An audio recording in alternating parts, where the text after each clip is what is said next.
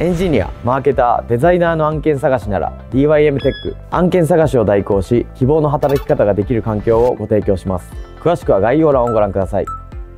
ホーデスク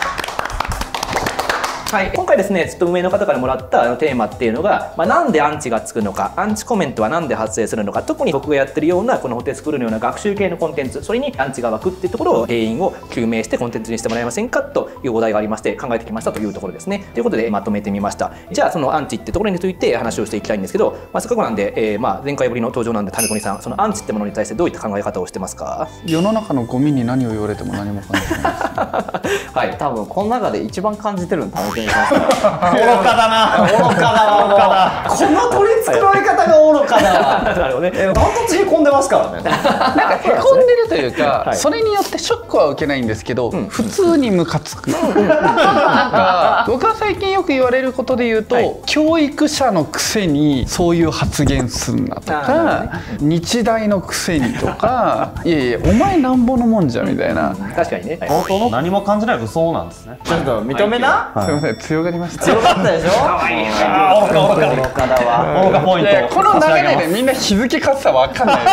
日本撮りの撮り方下手くそかお前ら。谷栗さんが言った通り、まあ、普通にムカつくんですよね。嫌な気持ちになりますよね。でもじゃあそういった人たちがアンチコメントとかに負けず頑張って勇気を持って情報発信していけるようにってことでその理論の解明を僕はしたいと思います。で特にその近年ですねまさにテラスハウスに出演していた木村花さんって方が誹謗中傷で自殺しちゃったりとか社会問題化してる部分もあると思うんででその勇気を持って情報発信してる人向けに、まあ、そういった辛い思いしないようにってことで今日の説明ができればということを思っています。でまずですねそもそもじゃあそのアンチってものをちゃんと定義しないと話が進められないんでアンチってものを定義したいんですけどなんでそのアンチのコメントがつくのかっていうところをまずちょっと皆さんに聞いてみたいと思うんですけどなんでアンチコメントつくんでしょうか？わかる方。ムカつくから。はいすぐ正解でしたね。はいその通りです。はい彼らは基本的に気に食わないっていう感情になるからそのもうコメントをね従うわけなんですよね。っていうことでその感情的ってことなんですよ。なのでアンチの定義としては適切な批判とかディスカッションはもう本当に前向きで健全なのでプラスがありますしやっていけばいいと思ってるんです。なので妥当性の高い論理的なものだと、えいいと思うんですね。ただそのこうアンチっていうものはそのあくまでそういった自分が気に食わないとかムカつくっていうそういった感情から来るもので非合理的な非難をするっていうところ。まあそれはアンチの定義だっていうふうに言っておきます。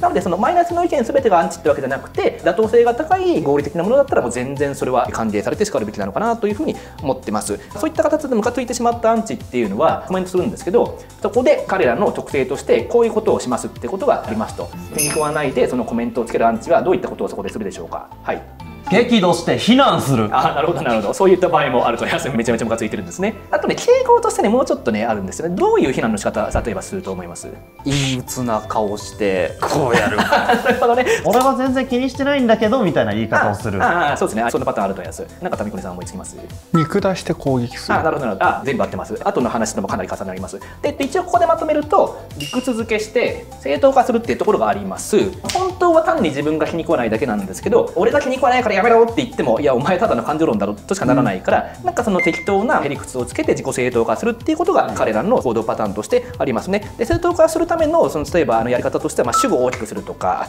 社会的にこうだみたいなことを言ったりとか、まあ、ルールを持ち出すとかね。あとは反論が不可能の理屈をつけてきたりっていうことが例えばパターンとしてあるんですけど別途それはまた語れればと思うんですが、まあ、その反論不可能の理屈みたいなところで言うと例えばエビデンスがないとか本当に乏しいとかね、うん、あと一概にそれは言えないとか、うん、でそれってもうね反論不可能なんですよ。それは全てそうなんでって いうね主観でしかないんでってとこでっていうような語り口調になることがありますと。じゃあですねいよいよそういう産地が発生するっていうですね理由をですね理論化していきたいと思うんですけど特にこういった学習系のコンテンツ、まあ、僕がやってるようなホテスクールとかですねこういったものでそういった気に食わない方々が増えてしまうっていうですね理由なんですけど一つはそのつまんないっていうですねふうに思っちゃうからっていうのはまあありますよね。でこういった学ぶ系のコンテンツ。でじゃあなんでつまらないと思われるのかっていうところのためにその学習の段階っていうのを教えたいと思います。今日一番これ重要なとこなんで絶対ここだけは持ち帰っていただきたいんですけど物事を学ぶっていうのはは実はその段階っていうのがあるんですね。学びが進めば進むほどこうなりますとか物事の学習が完了したらこうなりますっていうのがあるんですけどどういう状態になったらその人ってその物事を学習しきったって言えると思いますか？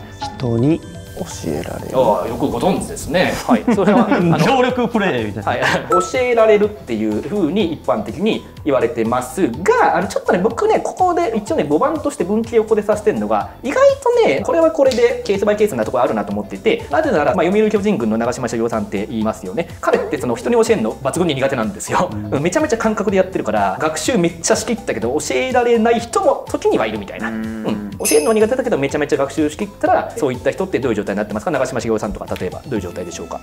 目をつむっててもできる。はい。はい。正解です。正解なん？はい。なぜならここに入るのは無意識にできるってことだからはい。正解だあの完璧やん意識しないとできる段階から無意識にも全部できちゃうってことなんですよね。でとても高度にできるっていう感じになっていきます。まあここまでいってようやく学習が完了したってことなんですよ。じゃあこの辺が埋まったので途中に実はステップがあるんですね。学習の段階。まあ当面知るってところ始まるんですけど間に入るものってどういったものだと思いますか？これはシンプルなんでもう簡単に言っていただいて。意識意識はい、実際に意識すればできる状態ってことですね、まあ、実際にできるっていうふうにまとめました、うん、でもまだこれは無意識になってないから、まあ、意識したら実際にできるって段階です。で超重要なのが知った状態とできる状態にもう一個ステップがあるってことなんです。ちょっとこれごめんなさい。これ難しいやつなんでね。あの、えっとまあ、理解してるっていうことなんですけどいいですか？あのねここにめちゃめちゃ大きい境界線があるんですよ。知っているのと実際理解してるのって全然違うんですね、うん。っていうことを今日は最重要なこととして、えっと、覚えておいていただきたいんですけど、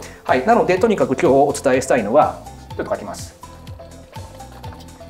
知っているっていう状態と実際理解している状態っていうのは全く別物でこれ天と地の開きがあるってことを覚えてくださいっていうことです。で例えばじゃああの野球において点の取り方知ってますかって言われると、まあ、打ってベース回ってホームベース踏むんでしょってところで一応知ってるじゃないですか。でもじゃあそれで野球ができるかっていうとストライクとかボールとか盗塁とかいろんなルール全部知ってきちんと理解しないとできるようにならないんですよね。なので単に知ってるっていうものと理解するっていうものはそういった意味でも全然別物だっていうのがあります。表面的に知ってるっていうものと実際にもう腹に落ちてる理解してる状態は全く違うってところをこういった例を通して認識してくださいっていうところなんですけどようやくこれでアンチがつく理由について説明できるんですがあのもう結局表面的に知っていてそれを理解した気になってる人たちから反論が来ますっていうとこなんですね。学習系のンテンツについては。はい。学習についてはその深さっていうものがあって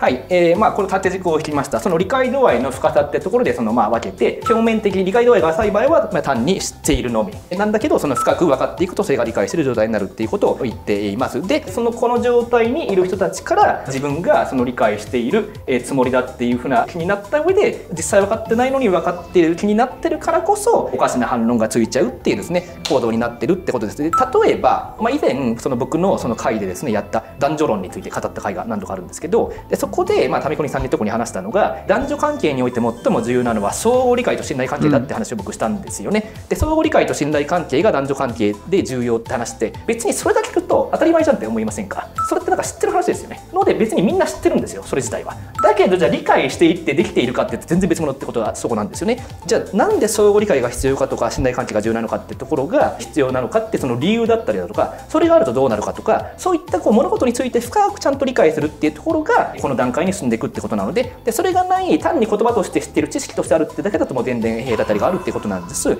まあ、以前の男女関係の理論ですごく分かるみたいな話と当たり前じゃんみたいなすごく差がついてるんですけどそれがここの状態の差ってことなんですが実はそういった話を聞いた時に今まで知らなかった人知ってるけど理解してなかった人が僕の説明とかをいろいろ聞いた上でうわ理解したわってなった瞬間のその反応とか感情っていうのがあるんですね。こっちに進んだ場合って人ってどういうふうな反応とか感情になると思いますか？質問。をしてくる。ああそうですね。なぜなら、えー分かったがゆえにもっと興味が湧くとか分かったからこそ持てる質問っていうのはありますよね。それも一つあると思います。はい他。驚く？うんはいあ正解です。そうなので、えっと、そのきちんと理解したことでそうだったのかっていうような驚きの感情が湧きますねまず。で納得感ってものもあります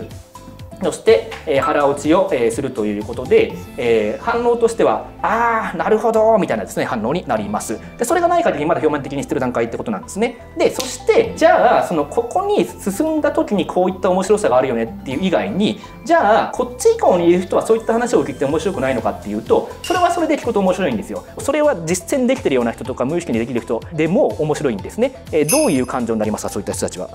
懐かしいなぁ はい。そうですね。えっとノスタルジー。はい、はい、合ってます。なぜなら、そのここに入るのは、えっと、共感だからです。あ共感したり、深くうなずくみたいな。あそんな時あったわみたいなことですか、そういう場合もあるし、わかるみたいな感じですよね。っていうことで共感して深くうなずくみたいな反応になってだからねそれはそれで面白いんですよ。自分が理解してきたことの追体験なんで。うん、っていうことでつまんないっていう反応になるのはそういった新しい概念が知ってるでとどまってしまって理解しているつもりになっていて実際理解できないっていう状態でだから学習系のコンテンツってつまんないっていう人がこの段階の状態だと発生してそれでアンチのコメントにつながるって部分があるということです。とにかくまあ知ってると理解してるってところには大きな隔たりがあるってところは今日一番伝えたいところなんですね。だからやっぱそのこの段階の人だとそういったことを聞いた時にそんなの知ってるわみたいな感じの反応になりがちなんですけど例えば今の男女論の話とかでも印象的だったコメントで幼稚な話っていうコメントもあったんですね。ああなるほどそういう反応になるんだって思って確かに表面的な知識だけだと幼稚に見えちゃうんですよ。ちょっとね聞きますけど小学校で習うようなことで人を傷つけることはやめましょうとか聞きません？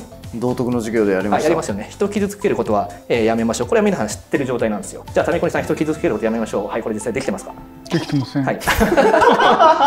やめる気もありません、はい、そう。なので人を傷つけることをやめた方がいいっていうことについて理解はしてないんですよ。うん。あはい。結論違いますね、はい。えっと、理解はしているんです、はい。理解はしているんですけど天秤にかけた時に理解をしている上で黙るか、それでも攻撃的にいくかの二択を狭まれた時に僕は後者を選んでいるっていう状態です、思考深くねえだろ、はい、っていうふうに認識してる状態がまさに理解した気になってる状態なんですね。うん。綺麗だな、はい、本当に理解してたらちゃんとねそこで、まあ、共感とかね 行動に移ったりってところでつながっていくんでってことなんで本当そういうことなんですよ。こっちの人でねやっぱり理解している気になってるとやっぱ話がねつながらないんですね。なんでここのギャップによって議論ができないっていうのはそれで人を傷つけることをやめた方がいいって本当に理論に分かってないわけなんですよ。だからやめないってことなので。ということで議論が噛み合わないのはこの理解の深さのギャップによって生まれるので対話が通じないっていうことがありますというところで本当に今日出演いただいてよかったなと思ったあんですけど。じゃあ結論ためくりは浅いってことですか？そこにおいてはそうです、うん。ああなるほどね。でも他のいろんなトピックもめっちゃ頑張ってる人なんで他に関してはもうめちゃめちゃこの辺にねとても上級者なんで一部のこじらせてるトピックにおいてはめっちゃ浅いみたいな感じのね。ところがあるみたいな。ところでもう一個小学生の時に相手の気持ちを考えましょうみたいなことも習いますよね。じゃあ山本さんそれできてますか？いやできてないですね、うん、そうなんですよね。実際結構できてる部分はあると思うんですけど表面的にそんなの知ってるよってことなんだけどじゃあなんでそれをしないといけないのかとかそれをすることによってどうなるのかっていう、まあ、そういったことを深く深く分かってようやく理解してできるようになっていくってことなんで小学生で習うようなことでも実際理解してる人ってめっちゃ少ないんですね。なぜなら僕も結構いろんな人に対て傷つくようなこと言っちゃったりとか相手の気持ち無視しちゃうことも全然あるんでやっぱりねまだまだ、うん、なのでちゃんと、まあ、無知のうちって言われる通り自分がちゃんとその概念に関してその本当にそれを知ってるのかって疑える人がちゃんと理解をしていけるってところも覚えておいていただきたいかなということを思います。ので相手の気持ちを考えましょうってトピックで言うと例えば大々に挙げた意識難解2の広川君とかも、まあ、絶対知ってると思うんですよね知識としては。でも全然為国さんの気持ちとか考えられてなかったじゃないですか。ってことなんでまさにその知ってはいるけどもこれ以上にはなってないっていうのはそういったことだってことですと。はい今回は SaaS 系の企業ですね。収益が安定していて人気なので優秀な人がとにかく多いです。電子エージェントにご登録いただければこちらの企業をすぐに紹介します。まずはキャリア相談のみでも歓迎。相談なんですけど、はい。僕人の感情をすごく気にするんですよ、うんうん。じゃあ例えば3人だったらあんまないけどじゃあ上本君と飲んでて今上本君って楽しんでくれてるのかな、うん。俺との時間でいいのかなとかなんかそういうのめちゃくちゃ気にしちゃうんですよ。だからこの間青笹と恵比寿ジャップの藤君と俺で飲んでた時に青笹が勝手に抜け上がって俺と恵比寿ジャップの藤君だって僕的にはファンなんでめっちゃ嬉しいんですけど僕と話してもつまんないんだろうな。どうしようかなって嬉しいはずなのに気使っちゃうんですよ。なのに俺は攻撃的にやっちゃうから自分でもなんかどっちの人間なのかも分かんないう。かあーなるほどですね。まさにその本当に実は ASO で繊細さんの HSP っていうところはね今の話でも分かる通り僕と同じ同種なんですけどガードナーの多重知能理論の話をいつかするんですけど人間って脳の中に、まあ、いろんな思考回路があるんですよね、はい。で、えっと、のでその人に対して気を使える、えー繊細な為国さんとあとまあその、えっと、この報酬系の脳が活性化してその嬉しいって感じてる為国さんと人とコミュニケーションするときに攻撃的なパターンしかコミュニケーションパターンしか持ってないっていうですね為国さんと、まあ、そのそれぞれがあるんですよ。でこのそれぞれ自分が強化してきたあの思考回路、えー脳内神経回路っていうものが結構そのギャップがあってそれによって苦しむっていう状態なんですよね、なので、えっとね、別な、えーコミュニケーションスタイルとかを強化していくと、えーこれとこれがその自然にマッチするっていうふうになっていくんで愛嬌があるコミュニケーションができるっていうことをそのパターンとして覚えていくとよくてでもねこれは訓練です。はっきり言って、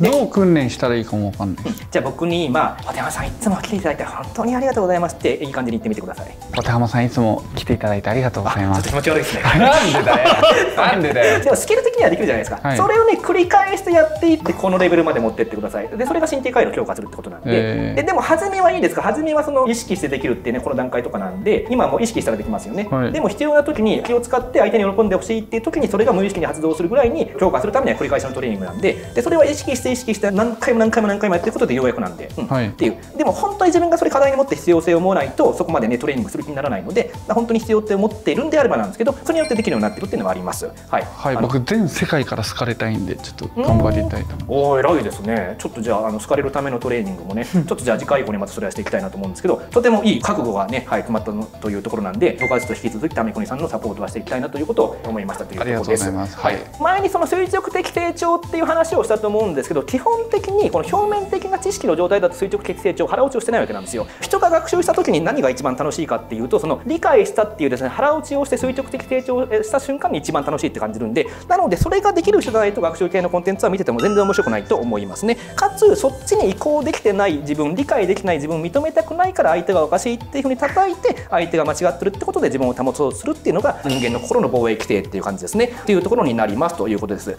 じゃあですねここからはちょっと手短に終わるんですけど他にアンチが現れる理由としてもう2つあります。自己肯定感と自己投影っていうところなんですけども基本的にそのアンチというかいろんな誹謗中傷をネットでしちゃうような人たちどんな人たちだと思いますか？うだつの上がらない人たち、はい。報われてない人、はい。うん。バカな人雑魚な人人間として終わってる人。暇な人。ああ確かに。はい、皆さんの煽り能力がとても高くて。でももうその通りでもう近年結構そのインターネット上での誹謗中傷が問題になって、まあ、弁護士が開示請求をかけるとかそういったことが増えたんですね、そうすると結局その人たちって実は分かってみると本当に子供部屋おじさんみたいな報われない生活をしている日々日々生活だと何にもね褒めてもらえることもないようなちょっとかわいそうな人たちだったってところが分かってきたってことなんですけどつまりは自己肯定感の低い人たちってことなんですよ。なんかありそうです？なんかあります？いややっぱ本当にそうなんだ。はい。って思って、はい、これね調べたらすぐ出てきます。もうね今開示請求がバンバン弁護士が行うようになったんでもう本当にねあのそういった人たちなんだっていうことがすごく分かったってとこで自己肯定感が低いから、えっと、他人を攻撃して、えー自分の楽しみに変えようとするっていうことなんですけど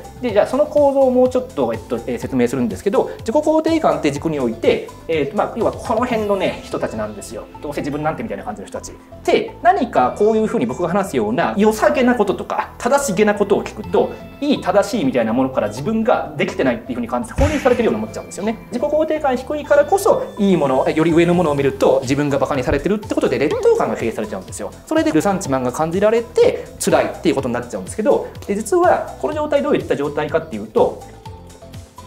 情報比較、下方比較って言葉があります。はい、自分が今この辺に社会的地位にいるっていうふうに認識してるとします。それに対してなんか、えーもっとすごいとか人を見て自分が惨めな気持ちになっちゃうことってありますよね。まあ僕も全然あるんですけど、でそういうふうに情報比較っていうことをした際に惨めになった自分って何かを人にされた時と同じ部分の脳が活性化します。何をされた時と同じ脳の部分が活性化すると思いますか？罵られた時それも同じですね。はい。もっと他に何か？暴力うんを受けた時、あ、そうです。ぶたれた時、殴られて物理的な痛みを負った時と同じ部位が活性化するんですね。はい、そうなんです。はい、なのでそのね情報比較っていうんでうわこの人はなんか自分は全然足りてない惨めだってなった時にそこが活性化してで殴られると痛いじゃないですか。やめろってなるじゃないですか。っていうのがアンチコメントってことなんですよ。自己肯定感低いからこそそう感じちゃうんで痛みが発生するんでアンチコメントをして防御しようとするっていうような行動ですというところで逆にその叩いてこいつはおかしいこいつは間違ってるっていうふうに相手のことを下方に置けるからそれ下方比較ってことで下方比較になった場合に活性化する脳の部位っていうのもあるんですね。相手を見下してどうせこいつより俺の方がこうだぜみたいなやつに浸れた時に活性化する脳の部位って何をした時に活性化する脳の部位と同じだと思いますか？射精。ボケてきた。えいやいやリアルリアルリアル。えっとねでもそんぐらい快感出んじゃないの？わかんないけど、はい。あそうだと思います。学術的にそれまで見たことないんですけど多分合ってると思いますね。でえっとちょっとでも快感すぎなんでもうもうもうちょっと手前のやつとかで何かありますかね？単純にさっきの話と考えたら暴力をした時っていうああなるほどね。多分それもあるんでしょうね。えっとそれきっと当たってると思います。褒められた時とか。うん。ああると思います。はい。他。愛された時。あー多分他の部分も活性化するんであもう少しね言ってしまった。甘いもの食べた時えに活性化するいわゆる脳の報酬系ってとこなんですけどそれで気持ちいいっていう時と同じ部位が活性化するんですね。相手を見下して叩いた時って、まあ、それが中毒になって気持ちいいからずっとアンチコメントつけちゃうっていう感じの行動になってますとはいいうとこでした。そうはいなんだ、うん。それは確かにハマるわ。うん、そう。甘いもの好きは甘いもの好きからしたら。そうそうそう。だなんかそういうことやる人が普通に息を吸って生きてることが我慢できないんでどうしても攻撃したくなるんですよ、うん、ということですね。ナミコニさんは許せないってところから来てるんですけど、でもそういった人たちに攻撃して下方比較をして快感を得て中毒になってるって状態なので、あ俺もね、はい。ミイラ取りがミイラに見えるめぐりさんも快感得てるんですよそれで。えでもなんか受けて我慢するのこっちだけ損してないって思って。でもここでやってるじゃないですかゴミカスみたいな人。争いは同じレベルのものとして。昔の 有名な有名な2ちゃんのがありましてはい、ですねだからね DV 受けてきた人ってまたね自分のことも DV しちゃうんですよで、そういった争いの連鎖っていうのは起きちゃうのでなるべくそれをどっかでストップしていく人間になってくれたら僕はいいなと思ってるんでちょっとずつそういった働きかけをしていきたいなと思っております。最後もう一個アンチが湧いてアンチコメントがついちゃう理由として自己投影っていうものがあるんですけどなんか嫌な気持ちになる時って自分が嫌だった記憶を呼び起こされる投影してるってことなんですね。ので僕みたいなこういったコンテンツとかこういったね話でやっぱ嫌な気持ちが湧いてきちゃうのって自分の記憶を投影する何かを重ねてるんですけど何かそれを思いつく人いますか？学校の授業。ああもうすぐ正解しちゃう。さすが国大 学校の先生を投影してしまって嫌な気持ちになるってことです、なのでえっと僕のこのホテスクールとか見て嫌な気持ちになってる人はその学校とか先生に対して嫌な気持ちをした記憶が多いような人でしょうね。なぜならね僕も結構そうなんで僕も多分知らないで僕のこのコンテンツとか見たらちょっと嫌な気持ちになると思うんですよ、うん。先生っぽくて。なんか偉そうでうざいみたいな、でそういった人たちからいじめられてきた記憶があるとそれを投影してっていう。だから僕もその中田スクールってちょっとちゃんと見たことないんですけどなんかその雰囲気ちょっと初め嫌な気持ちになるんですよね。ああいう先生っぽいやつってなので僕も全然それ同じなんで気持ちはすごくわかりますって感じですね。なので何かその嫌な気持ちになったら自分が一体何を投影してるんだろうとか考えるとあ自分実はこういったところにトラウマあるんだなってことで理解が進んでいくっていうことで世の中がもっと良くなっていく自分の認識が深まるんでぜひそういった自己探求に嫌な気持ちになった人はつなげてみてくださいって感じです、で学校の先生っていうものから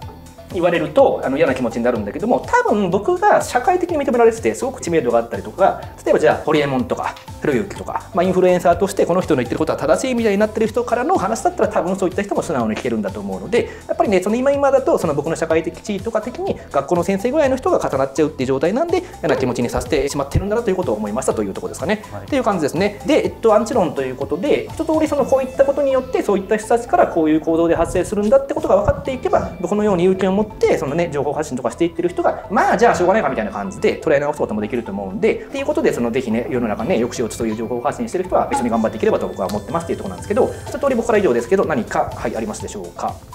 アンチを攻撃するのはやめようかなと思いました。ちょっと僕が我慢してこの世界の負を止めたいなと思いあました。いいっすね。もう自分が世界の負を全部受け止めて止める役割になってくるわけですね、は救世主タメコニとして、はい、今後ぜひ愚か山本と救世主タメコニとして。愚か山本になった愚か山本ただきたいなと、はい、思いました。はい。はい、いなくなんだそうっすよねこう見てると。ああそうですね、えっと、あちょっと補足です。すいません。あ最後最後です。日本人だけなんですよ。こんだけアンチコメントがつく国っていうのはね、えー、嫌な国。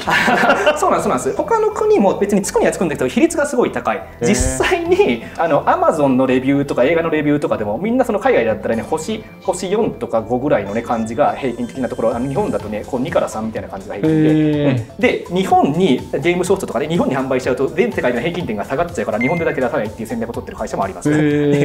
つまりね前回言ったんですけど日本人ってその儒教の環境で育ってこれはもう褒められないですよ。認められてきないんですよ。だから特に日本の男性なんですけど自己肯定感すごい他の国より低くてこれは統計とかも出てるんで URL 貼ってくるんですけどだから自己肯定感が他の国よりも幕下がりし続けている人たちばっかりの国だからだからその今日話したような形でアンチコメントがいっぱいついちゃうしレビューの点数も低いがちな国っていうことなんですね。ね。はい、自殺率も高いはい、その通りです。はい、そういったえー世界をちょっとみんなで変えていきたい。変えていきましょう。はい、はい。谷国さんが先頭に立ってそれをねやっていただきたいなと。僕は日本の教育変えるって決めたんで素晴らしい。はいはい頑張っていじゃあ、きたいと思いますタメコニさんでぜひそれやっていただくということで、今日の動画は、はい締めにしたいかなと思いますが、最後にじゃあ、ちょっと今日の内容のような補足だったりだとか、いろんなものも僕のメールマガジンや公式 LINE に書いてますんで、URL の方からぜひ登録ください。まあ普段アンチコメント書いてる方もねこの動画を見て先生とかそっちを連想してしまってたとそういうスタイルにしてたこっちも悪かったなと思いました、はい誠に申し訳ございません私でした申し訳ございませんでした。頑張ります。はいありがとうございました、はい、ありがとうございました。フリーランス向けオンラインサロン運営中